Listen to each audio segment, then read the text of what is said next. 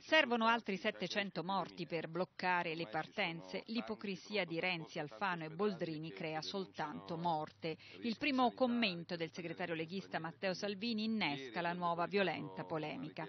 Se le autorità internazionali hanno un senso, ci vuole tanto ad organizzare dei blocchi navali per fermare in Libia le partenze ed identificare lì in loco chi è l'immigrato clandestino e chi è il rifugiato, accusa il leader della Lega Nord, attaccando Premier, Ministro dell'Interno e Presidente della Camera. Non fanno niente per evitare le partenze. Razzisti sono loro che li fanno partire e non noi che chiediamo di fermare lo schiavismo che c'è dietro.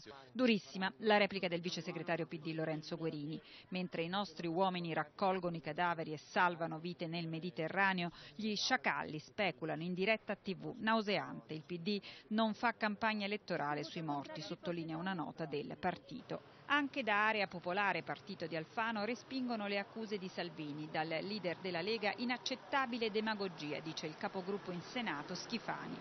Forza Italia invece attacca il governo. Questo esecutivo la smetta di fare false promesse. Non serve buonismo, serve buonsenso, dice Giovanni Toti, mentre Daniela Santanchè chiede l'utilizzo delle forze armate e della marina militare per affondare i barconi e per non farli partire. Dal Movimento 5 Stelle Alessandro Di Battista indica come i principali responsabili delle tragedie il ministro Alfano e l'ex presidente napolitano perché è lui che ha spinto soprattutto per l'appoggio agli USA e ai francesi per la distruzione violenta di Gheddafi.